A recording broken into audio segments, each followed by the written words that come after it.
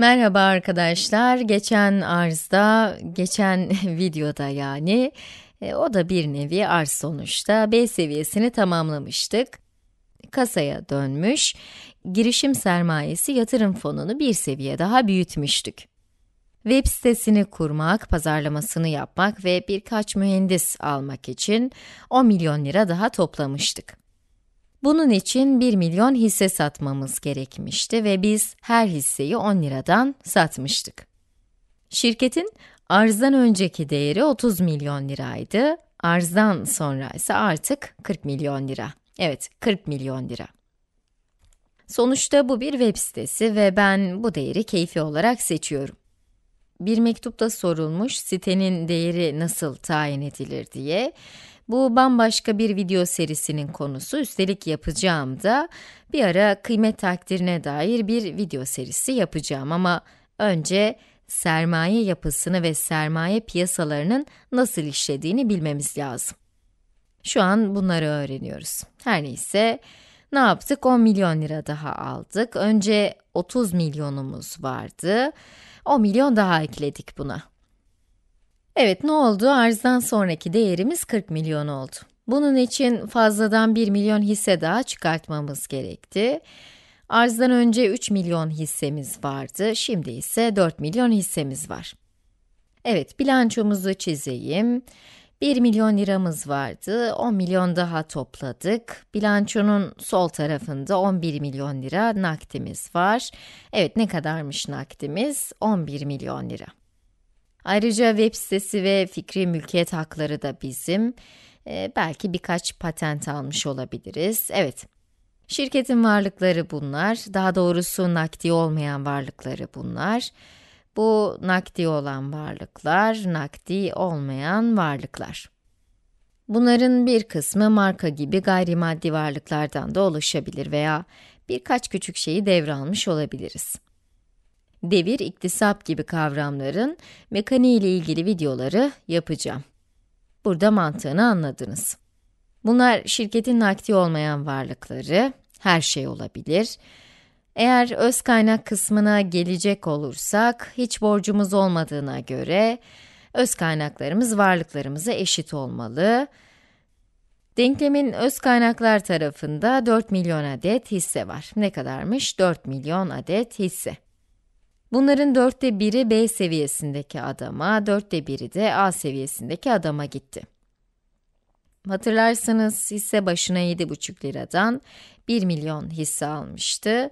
Melek yatırımcı da tanesi 5 liradan 1 milyon hisse almıştı. Bu kısımda melek yatırımcıya ait. Biz 5 kafadarda kalan 1 milyon hisseyi kardeş payı yapmıştık. Yani benim payıma 200 hisse düşüyor, 200 bin hisse. Böyle devam ederek C seviyesine, D seviyesine falan çıkabiliriz. Diyelim ki birkaç farklı kişi daha internet üzerinden çorap satışı işine giriyor. Bu alandaki rekabetin arttığını fark ediyoruz ve diyoruz ki meydan okuyacağız ve şirketimizin hakimiyetini sürdüreceğiz diyoruz. Bu şekilde karar veriyoruz. Çünkü biliyoruz ki en büyük pazar payını en kısa sürede kim elde ederse, Amazon.com haline gelen o olacaktır. Diğerleri ise taklitçi duruma düşecek ve sektörden çıkmak zorunda kalacaktır. Yani bu durumda boyut önemli. 10 milyon liralık ya da 20 milyon liralık ufak tefek arzlarla yetinmek istemiyoruz. Biz büyük oynamak istiyoruz. Şirketimizi dev bir şirket haline getireceğiz, yoğun bir pazarlama sürecine gireceğiz. O yüzden çok büyük paraya ihtiyacımız var. Şimdi bir sayı kafadan atayım. Mesela 50 milyon lira toplamak istiyoruz. Yatırım yapmak ve yoğun pazarlamaya girişmek için 50 milyon lira toplayacağız ve tarihte mesela ne olsun 1999 olsun. Borsa coşmuş, herkes bu tür bir işe girmek için can atıyor. Hadi diyoruz ve birincil halka arzımızı yapalım diyoruz. Bunun iki getirisi vardır. Birincisi, büyük miktarda para toplayabileceğiz. Böylece şirkete yatırım yapabileceğiz.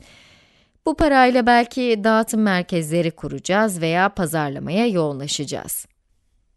Diğer getiri ise şu, yönetim kurulundan pek bahsetmiyoruz ama buradaki herkes şirkette pay sahibi öyle değil mi? Benim 200 bin hissem var, melek yüzlü yatırımcının 1 milyon hissesi var gibi.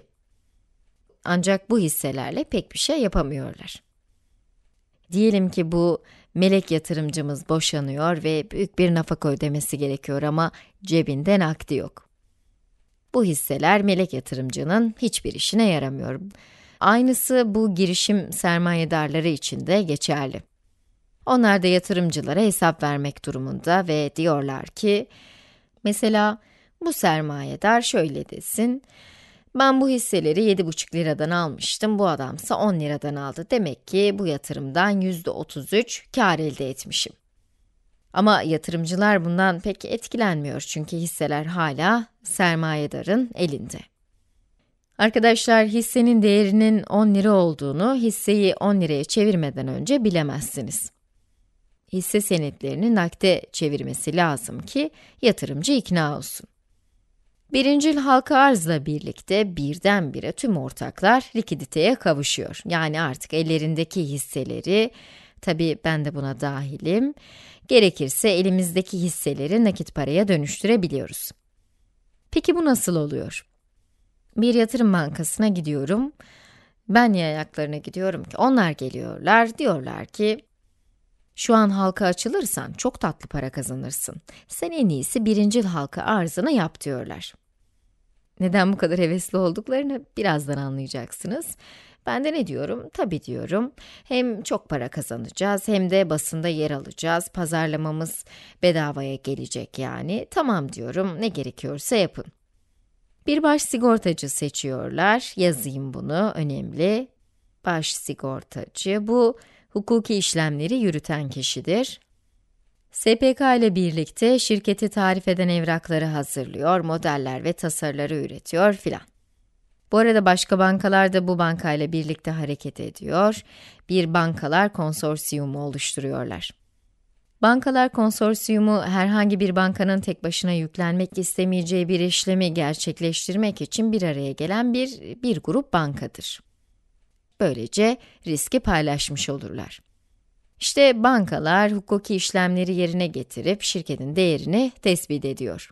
Sonra da şirketi kendi müşterilerine sunuyorlar. Yani o bankayla çalışan herkesi. Kurumsal müşterilerine, ana komisyon hesabına, o bankada bulunan çift fonlara, bilin diye söylüyorum, ana komisyon hesabı, komisyon hesabının ağır abileri için olanıdır.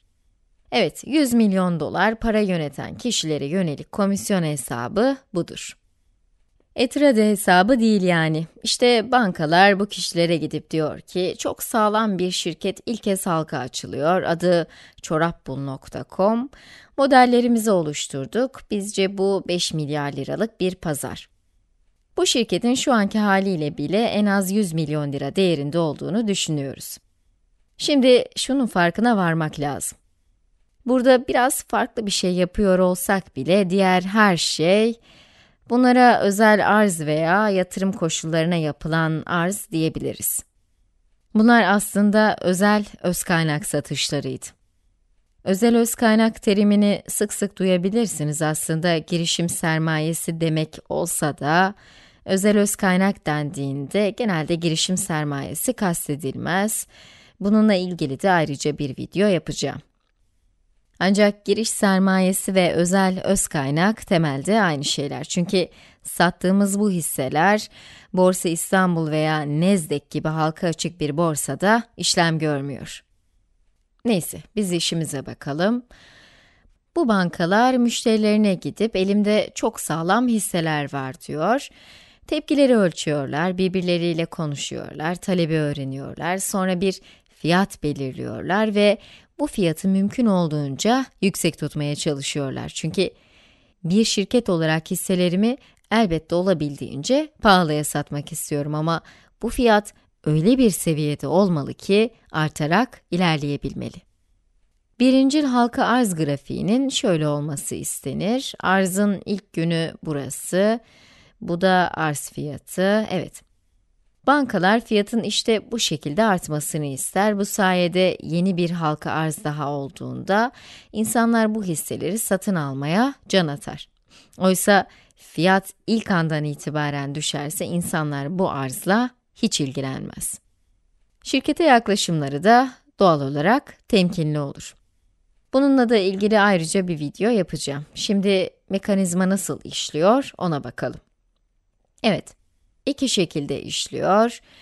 Mesela doğru sözcükleri bulmaya çalışıyorum burada. Evet, 10 milyon hisse daha çıkartmak istiyoruz mesela. Orantılı çizmiyorum bunu. 10 milyon hisse daha çıkartmak istiyoruz. Tabii ki çok daha yüksek olmalı çünkü burası zaten 4 milyon. Biz 10 milyon hisse daha çıkartmak niyetindeyiz. Peki ne kadar para getirir bu bize? Bankacılar piyasayla ve kendi aralarında konuşuyor. Diyorlar ki, bu adamlara kefil olabiliriz ama değerlerini olduğundan düşük göstermemiz lazım. Bu şirketin değeri 80 milyon lira dersek bizce piyasa buna inanır. Bunun anlamı şudur, arzdan önce 80 milyon liramız ve 4 milyon hissemiz var. Yani bir hisseye 20 lira baha biçiliyor. Tanesi 20 liradan 10 milyon hisse daha çıkartsak 200 milyon lira toplamış oluruz. Arkadaşlar şimdi 50 milyona göre ayrı hesap yapmayacağım. Toplamak istediğimiz para 200 milyon lira olsun. Evet, yönetim kurulumuz bu yeni hisseleri çıkartıyor. Baş sigortacı yönetimindeki bankalar konsorsiyumu da bu hisseleri komisyon müşterilerine satıyor. Bunların çoğu kurumsal yatırımcılar ama tanıdık zenginler de olabilir. Evet, arz öyle çok ahım bir şey değilse belki seni beni de arayabilirler. Bankalar bu hisseleri satıyor yani. Peki bunu bankalar neden yapıyor? Bu şirket 200 milyon lira kazansın diye niçin bu kadar zahmete giriyorlar? Hukuki işlemlerle uğraşma zahmetine niçin katlanıyorlar? Belki 10 kişilik bir ekibi niye bu işe kaydırıyorlar? Model hazırlama filan derken neden 2-3 aylarını harcıyorlar? O kadar uğraşıyorlar ki karşılığında ne alıyorlar? Evet, komisyon alıyorlar arkadaşlar ve bu komisyon tüm arzın yüzde yedisine denk geliyor. Evet, arzın yüzde yedisi. İşte yatırım bankacılığı geçmişte bu yüzden bu kadar revaçtaydı. 200 milyon liranın yüzde yedisi 14 milyon lira eder ve ha 200 milyon lira için uğraşmışsın, ha 20 milyon lira için arada pek fark yok ama 200 milyon liranın yüzde yedisi 14 milyon lira ediyor. Yani burada bizim elimize geçecek para 200 milyon lira değil. 200 eksi 14 milyon yani 186 milyon lira geçecek elimize.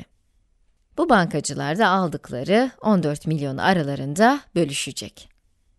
Bu belki 10 kişinin 2 aylık emeğinin karşılığı.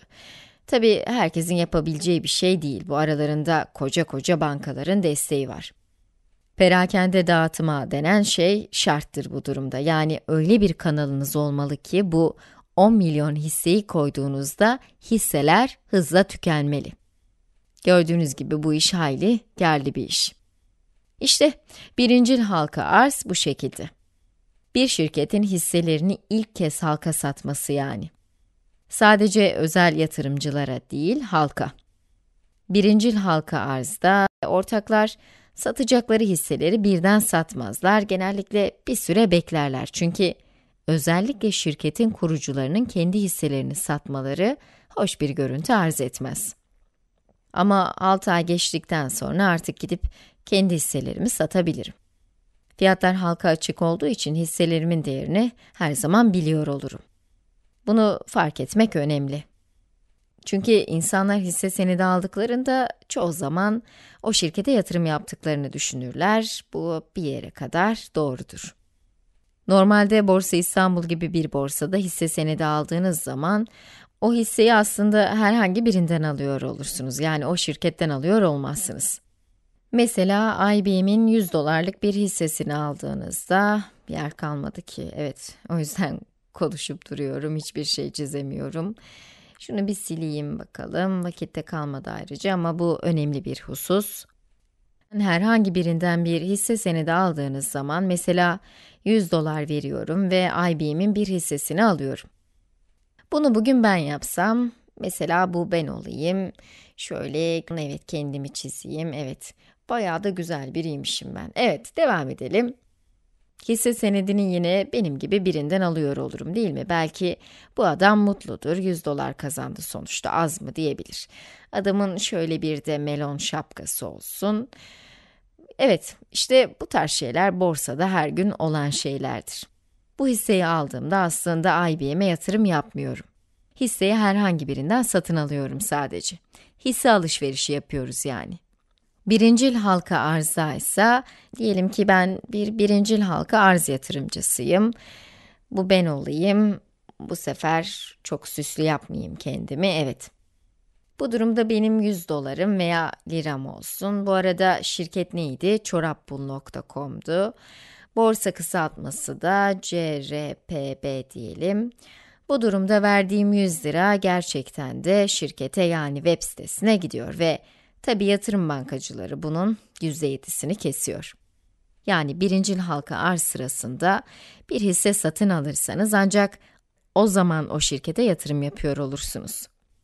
Şirket ödediğiniz parayı ancak o zaman işe yeni insanlar almak, yeni fabrikalar açmak veya bir web sitesi kurup pazarlama yapmak için harcayabilir. Bu durumda ise ikinci bir piyasada hisse alışverişi yapıyorsunuz sadece. İkincil piyasada ödenen para, şirketin kendisine değil, hissenin sizden önceki sahibine gider. Her neyse, zaman sınırını çok aştık arkadaşlar. Gelecek videoda tekrar görüşmek üzere, hoşçakalın.